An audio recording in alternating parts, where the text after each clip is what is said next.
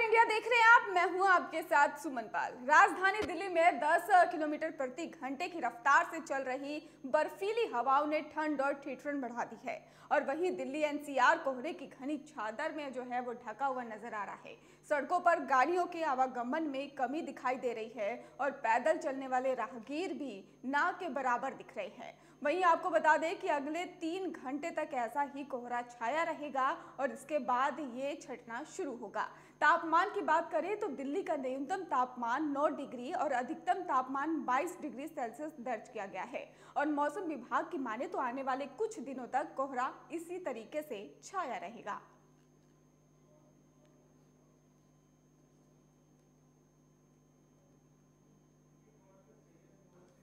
और इसी खबर पर हमारे साथ दिल्ली से ब्यूरो हेड सैयद मुबशिर हमारे साथ जुड़ चुके हैं। सैयद देखिए जिस तरह से मौसम जिन, जिसने करवट ली है और दिल्ली एनसीआर में ज़बरदस्त कोहरा देखने को मिल रहा है लोग किस तरह से ठंड से बचाव कर रहे हैं? तरफ़ ठंड अपना आगोश में लोगों को लेती जा रही है साफ़ तौर पर है कि कहीं आने वाले दिने भी दिन भी थोड़ा और कह सकते हैं बर्फीले हो सकते हैं। दिल्ली एनसीआर समेत कई राज्यों में अलर्ट जारी किया गया है, चाहे वह यूपी हो, हरियाणा हो, पंजाब हो, या राजस्थान का एरिया हो, यहाँ पर अलर्ट जारी किया गया है। आज सुबह तड़के ही जो ग्रेटर नोएडा है, ग्रेटर नोएडा एक्सप्रेस पे एक भीषण हादसा भी इसी को चलते हुआ है, जिसको लेकर कई सारे अलर्ट जारी किए गए हैं। दूसरी तरफ़, बचाव की बात करें तो खुद उत्तर प्रदेश के मुख्यमंत्री योगी आदित्यनाथ ने सभी डीएम को यह आदेश दिया है कि अलाव और जो ब्रांड बसेरे हैं, उन पर रोज़ाना निगरानी की जाए, उन पर रखरखाव की ज़िम्मेदारी डीएम को दी गई है और उनसे साफ़ तौर पर कहा गया इसकी नियमित तौर पर इसकी देखभाल की जानी चाहिए। तो ये ज़रूर कहा जा सकता है कि आने वाले दिन और थोड़ा सा ठंड बढ़ सकती है क्योंकि दिसंबर का लास्ट चल रहा है और ठंड अब धीरे धीरे अपने जवाब पर पहुँचती जा रही है। जी। जी, शायद जिस तरह से अब कोहरे की वजह से ट्रेनें भी देरी से चल रही है, इस तरह से लोगों को भी परेशानी का सामना करना पड़ रहा है। बिल्कुल सिर्फ़ ट्रेन ही नहीं चाहे वो आप हवाई यातायात की बात करें या आ, रेल मार्ग की बात करें ये सभी जो मार्ग हैं ये पूरी तरीके से बाधित अभी तक तो फ़िलहाल नज़र नहीं आया लेकिन आ, कह सकते हैं कि रेल मंत्रालय की तरफ़ से गाइडलाइन ज़रूर जारी की गई जो ट्रेनें लेट हुई है उनकी सूची जारी की जा रही है जिन जो किसी कारण से रुकी है उनकी सूची जारी की गई है। दूसरी तरफ़ हवाई यातायात की बात करें तो सुबह की जो विजिबिलिटी है वो तकरीबन 25 मीटर के आसपास की रहेगी तो जिसमें सुबह में जो हवाई यातायात है वो भी थोड़ा सा बाधित नज़र आया क्योंकि विजिबिलिटी कम होने के चलते लैंडिंग और टेक ऑफ़ में थोड़ा प्रॉब्लम हुई, जिसके वजह से ये दिक्कतों का सामना करना पड़ा। वहीं दूसरी तरफ़ अगर हम बात करें एनसीआर की, दिल्ली एनसीआर की तो अब धीरे धीरे जो धुंध की चादर है, क्योंकि पॉल्यूशन के साथ साथ, ठंड के साथ साथ पॉल्यूशन भी इस वक्त बढ़ता नज़र आ रहा है, जिसकी वजह से भी एक कोहरे की एक लेयर जो है, एक परत है, वो सुबह देखने को मिलती है। जी। बिल्कुल सैद अगर लोगों की बात करें तो लोग किस तरह से इतने ठंड में अपना बचाव कर रहे हैं? देखिए, जिस तरीके से उत्तर प्रदेश की अगर हम बात करें सुमन तो मुख्यमंत्री ने सीधे तौर पर आदेश डीएम को दिए हैं कि अलाव का इंतज़ाम किया जाए, रैन बसेरों में हीटर का इंतज़ाम किया जाए, और जो राहगीर हैं, जो सड़क किनारे हैं, वो कई जगह पर देखा गया है कि जो छोटे छोटे इलाके हैं, वहाँ पर अलाव का इंतज़ाम भी देखने को मिला है। लोग ज़्यादातर अब जो रास्तों पर या वैसे रहते हैं, जो स्लम एरियाज़ में रहते हैं, वो जगह जगह पर अलाव जलाकर अपनी हिफाजत कर रहे हैं इस चीज़ से। जी। जी शहीद आप हमारे साथ बने रहिए, आगे भी आपसे अपडेट लेंगे। तो दिल्ली एनसीआर में ज़बरदस्त कोहरा देखने को मिल रहा है और बता दें आपको कि विजिबिलिटी ज़ीरो होने की वजह से लोगों को काफ़ी ज़्यादा परेशानी का सामना भी करना पड़ रहा है। वहीं आवाजाही में भी लोगों को काफ़ी ज़्यादा परेशानी हो रही है।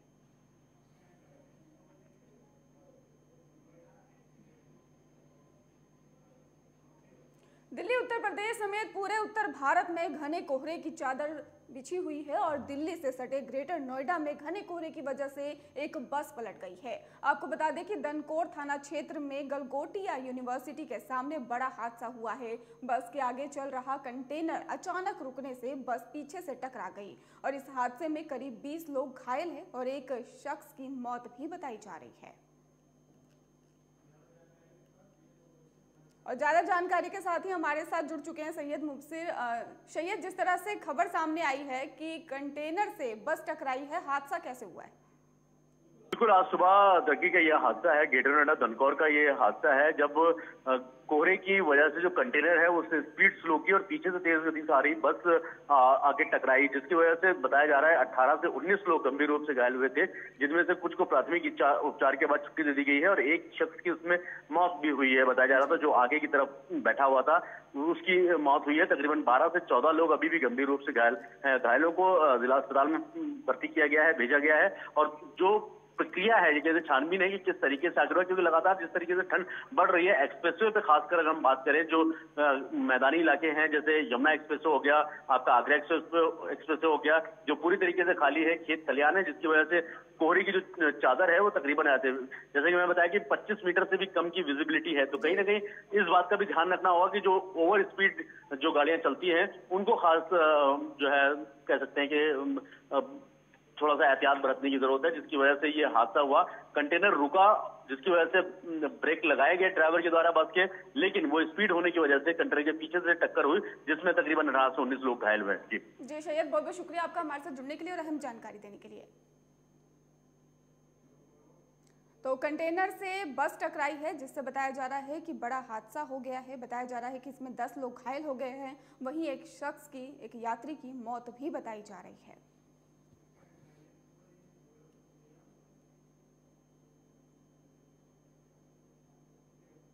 रुक करते अगली खबर की ओर। गोरखपुर दौरे पर आए प्रदेश के मुख्यमंत्री योगी आदित्यनाथ अचानक रैन बसेरे का निरीक्षण करने निकले और इस दौरान उन्होंने रेलवे स्टेशन पर मौजूद रैन बसेरे का औचक निरीक्षण किया है और वहाँ ठहरे हुए कई लोगों से मुलाकात की है। उनसे उनका हालचाल भी जाना है और साथ ही लोगों से बात कर वहाँ मिलने वाली सुविधाओं और व्यवस्थाओं के बारे में भी जानकारी ली है। सीएम योगी का सख्त निर्देश है कि ठंड में कोई गरीब बेसहारा सड़कों पर ना सोए। इसको लेकर सभी जिलाधिकारी को निर्देश दिया गया है। आप समय रहते कंबल की खरीदारी कर गरीबों में वितरण करें और इसी क्रम में उन्होंने रेलवे स्टेशन पर मौजूद एक रेन बसेरा का निरीक्षण किया और मौजूदा लोगों से मुलाकात कर उनका हालचाल जाना और साथ ही कुछ लोगों से उन्होंने खुद खाने, पीने के पैकेट और कंबल भी वितरण किए हैं। हर जरूरतमंद को जो भी बेसहारा हो या कहीं बाहर से आया है बोला भटका है, सड़कों पर, पटरियों पर ठिठुरता हुआ दिखाई दे, उसे रेन बसेरों में पहुँचाने की व्यवस्था करें और वहाँ पे उन्हें सम्मानजनक ढंग से रहने की व्यवस्था करें। दूसरा, ग्रामीण क्षेत्रों या शहरी क्षेत्र हर ज़रूरतमंद को कंबल उपलब्ध कराने के भी निर्देश दिए गए हैं। ऊनी कपड़े उपलब्ध कराने के भी निर्देश दिए गए हैं और तीसरा, सार्वजनिक स्थलों पर अलाव जलाने के लिए भी। आज मैं यहाँ पर तीन स्थानों पर रेन बसेरों का निरीक्षण मैंने किया है। प्रदेश भर में हर एक नगर निकाय में पर्याप्त संख्या में रेन बसेरे बनाए गए हैं, जिन्हें नगर निकाय शासन की एजेंसियाँ, राजस्व विभाग के द्वारा और कुछ जगह स्वयंसेवी संगठनों और सामाजिक संगठनों के सहयोग से उन्हें संचालित किया जा रहा है। जिससे संभावित भीषण शीतलहरी को ध्यान में रख करके हर एक व्यक्ति को हम पुख्ता व्यवस्था दे सकें। और इसी खबर पर हमारे साथ गोरखपुर से हमारे सहयोगी धनेश कुमार हमारे साथ जुड़ चुके हैं। धनेश, सीएम योगी ने औचक निरीक्षण किया है। धनेश मेरी आवाज़ आप तक पहुँच पा रही है? धनेश हम दोबारा संपर्क करने की कोशिश करेंगे। बता दें आपको कि गोरखपुर से खबर है, जहाँ पर रेलवे स्टेशन पर मौजूद रेन बसेरे का औचक निरीक्षण किया गया है। बता दें आपको कि सीएम योगी आदित्यनाथ ने वहाँ के लोगों से मिलकर उनका हालचाल जाना है और ठंड को लेकर सीएम की एक पहल देखने को मिली है जहाँ पर सीएम योगी आदित्यनाथ ने गरीबों में कम्बल वितरण किए हैं और इसके साथ ही आपको बता दें कि औचक के दौरान सीएम योगी आदित्यनाथ ने सख्त निर्देश भी दिए हैं।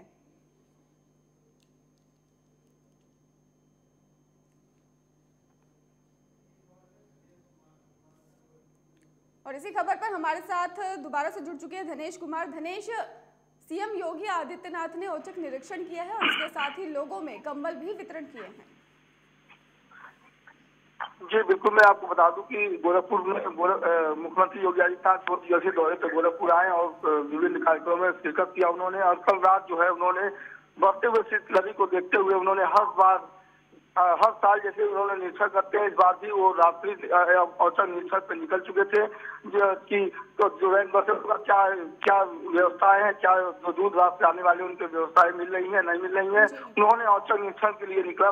वो पहले वो जी धनेश, जिस तरह से अब ठंड का मौसम है और ठंड में जो असहाय लोग हैं, जिनके पास घर नहीं है, वो सड़कों पर रहने के लिए मजबूर होते हैं। तो यहाँ पर योगी आदित्यनाथ की अच्छी पहल देखने को मिल रही है। उन्होंने साफ़ तौर पर कह दिया है कि कोई भी गरीब सड़कों पर नहीं रहेगा और इसको लेकर सख्त निर्देश भी दिया उन्होंने।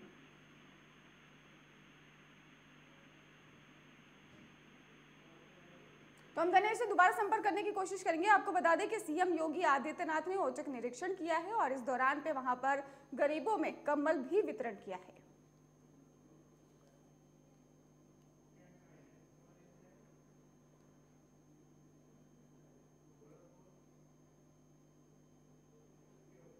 आज़ादी के अमृत महोत्सव की कड़ी में गोरखपुर के महंत दिग्विजय नाथ पार्क में इतिहास रचा गया और जहाँ पर अमर सेनानियों की याद में उनकी शौर्य गाथा का प्रस्तुतिकरण ऐतिहासिक और देश के सबसे बड़े ड्रोन शो का आयोजन हुआ। आयोजन में 750 ड्रोन कैमरों ने काकोरी कांड में ही बलिदानियों की अमर गाथा का सतरंगी रूप से प्रस्तुत कर सबका मन मोह लिया और जिसके गवाह सीएम योगी आदित्यनाथ भी बने। आपको बता दें कि इससे पहले 500 ड्रोन के साथ सबसे बड़ा शो लखनऊ के रेजिडेंसी में किया गया था, जहाँ अमर बलिदानियों की शौर्य गाथा को प्रस्तुत किया गया था और पूरे साल देश भर में आज़ादी के अमृत महोत्सव की पचहत्तरवीं वर्षगांठ की धूम रही और इसी क्रम में ही आज काकोरी कांड के सेनानियों की याद में गोरखपुर के नौका विहार में मौजूद महंत दिग्विजय नाथ पार्क में एक ऐतिहासिक आयोजन हुआ, जहाँ 750 ड्रोन कैमरों ने देश की आज़ादी के नायकों की याद में सतरंगी छटा बिखेरी और जब शो के दौरान अमर शहीदों की गाथा को प्रस्तुत किया गया तो वहाँ मौजूद सभी लोग भाव विभोर होकर वाह वाह करने को मजबूर हो उठे।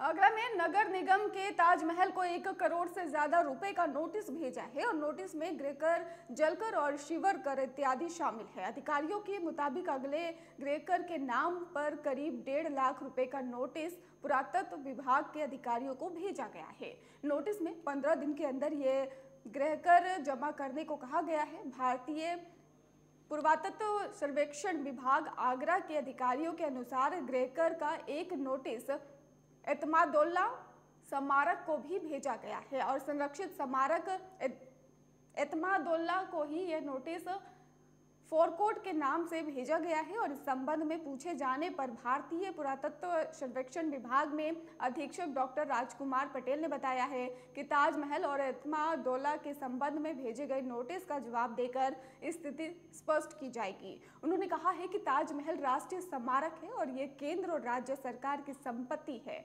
उन्होंने संभावना जताई है कि नगर निगम द्वारा कर गणना के लिए लगाई गई एजेंसी की गलती से ऐसा हुआ होगा। पूर्वत्व विभाग नगर निगम को जवाब भेजकर स्थिति जो है वो स्पष्ट कर देगा और इस बाबत सहायक नगर आयुक्त सरिता सिंह ने बताया है कि साई कंस्ट्रक्शन कंपनी को गृहकर गणना की ज़िम्मेदारी दी गई है और गूगल मैपिंग के चलते कुछ जगह गड़बड़ी पता चली है, जिसकी जाँच कराई जा रही है।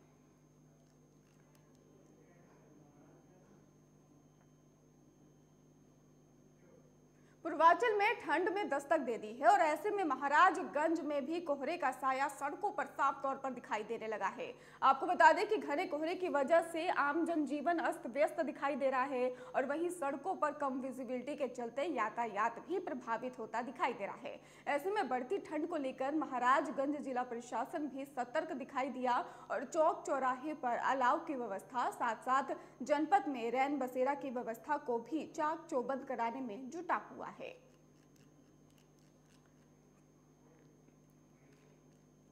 देखिए, संधि सर्दी का समय चालू हो गया है। नौतनवा नगर पालिका सर्दी से निपटने के लिए, बाहरी यात्रियों के लिए जलकल परिषद में एक रैन बसेरा का निर्माण कराया है। वहाँ मूलभूत सारी सुविधाओं को मुहैया कराया गया है। जो भी हमारे भाई बाहर से आए, जिनको रहने का ठिकाना ना हो, वो हमारे रैन बसेरा में आके यहाँ रह सकते हैं। यहाँ फ़र्स्ट एड के लिए, उनके लिए दवाएँ मुहैया कराई गई है। रैन बसेरा नगर पालिका नौतनवा द्वारा संचालित है। ये बीच कस्बे में स्थित है। इसमें निर्देश दिए गए हैं कि तो रैन बसेरा में यहाँ पर स्वच्छ पानी की व्यवस्था और यहाँ का जो शौचालय है, उसको और स्वच्छ किया जाए। साथ ही फ़र्स्ट एड बॉक्स अगर किसी की तबीयत खराब हो तो यहाँ पर यू साहब से कहा गया है कि फ़र्स्ट एड बॉक्स तत्काल रफा में और बाहर एक चिन्ह बना दें कि रैन बसेरा यहाँ पर स्थित है और दो तीन और जगहों पर भी रैन बसेरा यहाँ का जो जलतल कार्यालय है, ठीक उसके सामने स्थित है। बाकी रैन बसेरा में अंदर साफ़ सफ़ाई और बिस्तर और तखत सब है, यहाँ स्वच्छता है। रैन बसेरा अच्छी तरह संचालित है। इसी तरह सोनौली में बस अड्डे पर नगर पंचायत द्वारा रैन बसेरा संचालित है। वहाँ भी समुचित सुविधाएँ हैं इस संबंध में आवश्यक दिशा निर्देश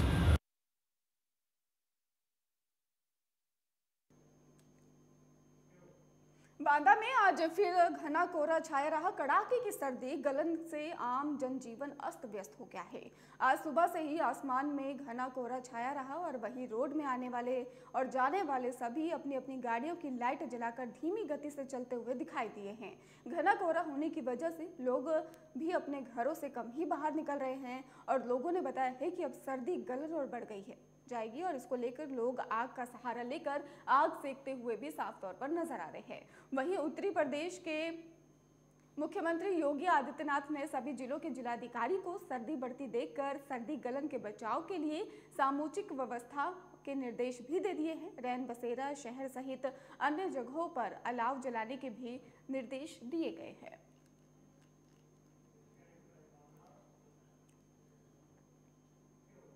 बांदा के कालू कुआँ चौकी अंतर्गत तिंदवारी रोड पर मौजूद मंडी समिति में खाद लेने के लिए किसान भीषण कड़ाके की सर्दी, गलन में ही तीन बजे रात के लाइन में लगाकर अपनी बारी का इंतज़ार कर रहे हैं। और साथ ही किसानों ने कर्मचारियों पर लापरवाही का भी आरोप लगाया है। किसानों ने कहा है कि किसान यूरिया खाद के लिए परेशान है और तीन बजे रात से इस तरह की गलन सर्दी में लाइन लगा के खड़ा है। मगर अभी तक खाद नहीं मिल पा रही है और मामला तहसील सदर बांदा के तिंदवारी रोड मंडी समिति बांदा का बताया जा रहा है।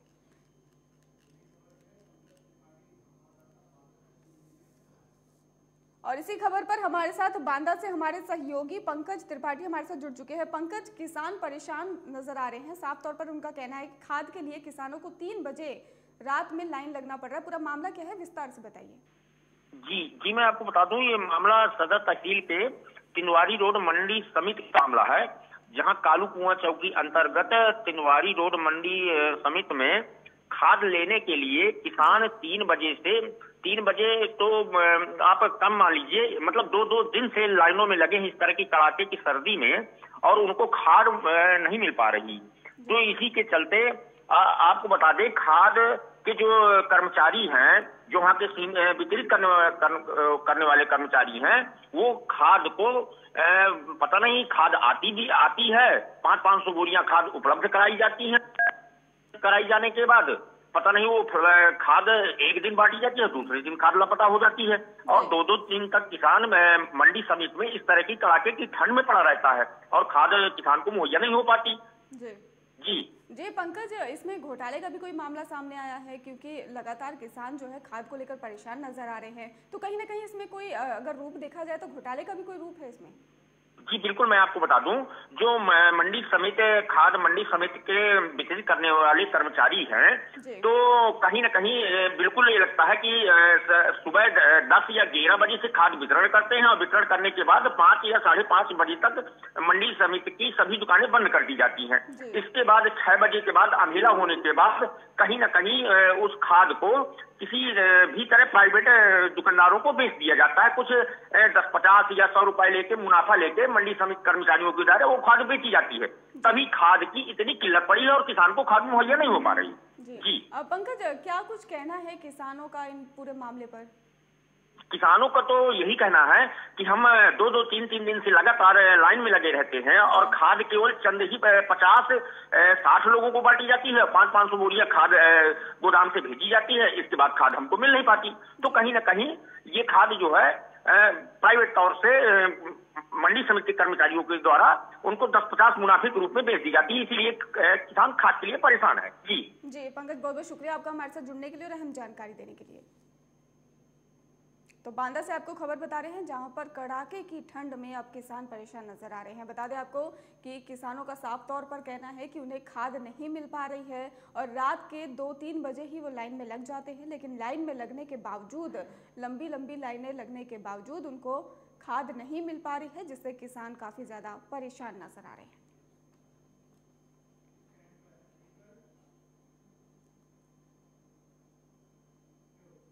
यूपी के बुलडोजर बाबा योगी आदित्यनाथ की सरकार में भी प्राइवेट अस्पताल और इसके साथ ही सेंटर में गैर कानूनी कार्य करने से बाज नहीं आ रहे हैं। भ्रूण लिंग परीक्षण करना कानूनन अपराध है, लेकिन बावजूद इसके कुछ निजी अस्पताल संचालक चंद पैसों के लालच में भ्रूण लिंग की जाँच कर गलत काम करने की बाज नहीं आ रहे हैं और इसी कड़ी में ही तहसील खेर के गाँव नूरपुर में संचालित निजी पुष्पांजलि अल्ट्रासाउंड सेंटर पर यूपी और हरियाणा प्रशासन की संयुक्त टीमों के द्वारा भ्रूण लिंक परीक्षण शिकायत पर छापामारी की गई और इस दौरान तहसील खेर टप्पल नायक तहसीलदार ने पुष्पांजलि अल्ट्रासाउंड को सील करते हुए मौके से बड़ी तादाद में पत्रों की बरामदगी है, वो भी की गई है, जबकि नायब तहसीलदार ने कहा है कि जब छापामारी की गई तो मौके पर जो ऑपरेटर मिला, वो टेस्ट टेक्नीशियन था और इसको लेकर भी उन्होंने कहा है कि गैर तरीके से जाँच कर रहा था और वहीं सेंटर के संचालक के खिलाफ मुकदमा दर्ज करवाया गया था और साथ ही तीन लोगों को मौके से गिरफ़्तार भी कर लिया गया है। सर नाम क्या सर आपका? मेरा नाम डॉक्टर मान सिंह है PNDT nodal officer Faridabad Haryana. अच्छा सर जो आज यहाँ जो कार्रवाई की जा रही है टप्पल में किस उद्देश्य से की जा रही है? क्या मामला है यहाँ का? यहाँ पे माननीय प्रधानमंत्री जी का प्रोग्राम चल रहा है, बेटी बचाओ, बेटी पढ़ाओ। और इसको मद्देनजर रखते हुए एक आज सेक्स डिटर्मिनेशन लिंग जाँच का ग्रोह का पर्दाफाश किया है। ये टप्पल में पुष्पांजलि अल्ट्रासाउंड सेंटर है, जिसमें कई त्रुटियाँ मिली हैं इन्होंने, जो नियम के तहत पीएनडीटी के तहत एक तो टेक्नीशियन जो डॉक्टर के नाम रजिस्टर्ड है वो रजिस्ट्रेशन भी खत्म हो चुका है उसके बावजूद टेक्नीशियन यहाँ पे अल्ट्रासाउंड कर रहा है और वो हमारे एक पेशेंट को हमने भेजा है जो डिकोय पेशेंट को डम्बी पेशेंट को उसको हमने जब भेजा है तो उसको लड़का बताया है। और इसी खबर पर हमारे साथ अलीगढ़ से हमारे सहयोगी आकाश कुमार हमारे साथ जुड़ चुके हैं। आकाश पूरा मामला क्या है विस्तार से बताइए।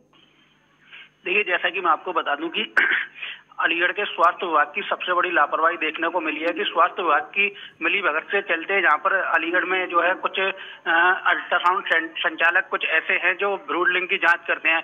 कई बार जो है स्वास्थ्य, अलीगढ़ मुख्य चिकित्सा अधिकारी को इस संबंध में अवगत भी कराया गया, लेकिन उनके द्वारा कोई कार्रवाई नहीं की जाती है। साफ़ तौर से देखा जाता है कि उनकी मिली भगत से ये काम होते रहते हैं। ऐसा ही एक मामला थाना टप्पल क्षेत्र के नूरपुर गाँव का देखने को मिला है, जहाँ पर बाहरी राज्य की पुलिस ने जो बाहरी राज्य की जो स्वास्थ्य विभाग की टीम है, उन्होंने जो है स्थानीय स्वास्थ्य विभाग को सूचना दी और स्थानीय स्वास्थ्य विभाग की टीम को लेकर के ताबड़तोड़ कार्रवाई करते हुए जो अल्ट्रासाउंड सेंटर संचालक है, उसके खिलाफ मुकदमा दर्ज किया गया है। मौके पर वहाँ पर जो है, भीड़ की जाँच करते हुए उनको पकड़ा गया और जो रेडियोलॉजिस्ट था, वो जो है, टेक्नीशियन था रेडियोलॉजिस्ट का काम कर रहा था, अल्ट्रासाउंड मशीन चला रहा था और वहीं तीन लोगों को उन्होंने गिरफ़्तार भी किया है। जी। और जिस तरह से जानकारी सामने आई है कि अवैध तरीके से चल रहा था, ये कब से चल रहा है आकाश? इसके बारे में कुछ जानकारी हासिल हो पाई अभी? बिल्कुल, जैसा कि मैं आपको बता दूँगी काफ़ी लंबे समय से टप्पल क्षेत्र के जो गाँव पड़ता है, नूरपुर, उसमें काफ़ी लंबे समय से चल रहा था। हालाँकि कई बार शिकायतें भी होती है, लेकिन जो स्वास्थ्य विभाग है, अलीगढ़ का, वो आके मूंद कर तमाशा देखता रहता है। जब तक कोई बड़ी जनहानि नहीं होती, जब तक उसकी आँख नहीं खुलती है, जब कोई घटना वहाँ घट जाती है, उसके बाद जो है, कार्रवाई करना शुरू करते हैं। हालाँकि साफ़ तौर से देखा जाता है कि अलीगढ़ स्वास्थ्य विभाग की मिली। भगत के चलते अलीगढ़ में जो है काफ़ी ऐसे हॉस्पिटल चल रहे हैं, काफ़ी ऐसे अल्ट्रासाउंड सेंटर चल रहे हैं, जिनमें जो है बाहर की टीमें बाहरी राज्य की टीम आ करके कार्रवाई कर रही है लोकल की टीम जो है तमाशा देखती रहती है।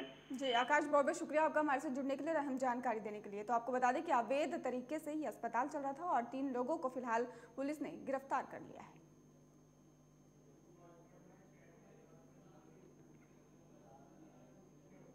काशगंज में एक सनकी पति ने पत्नी के मायके चले जाने के नाराज़ होकर खुद को गोली मार ली है। गंभीर रूप से घायल युवक को पुलिस द्वारा काशगंज जिला अस्पताल लाया गया और जहाँ गंभीर हालत को देखते हुए चिकित्सकों ने बेहतर उपचार के लिए अलीगढ़ मेडिकल कॉलेज को रेफर कर दिया है। घटना काशगंज सदर कोतवाली क्षेत्र के नरोली गाँव की बताई जा रही है।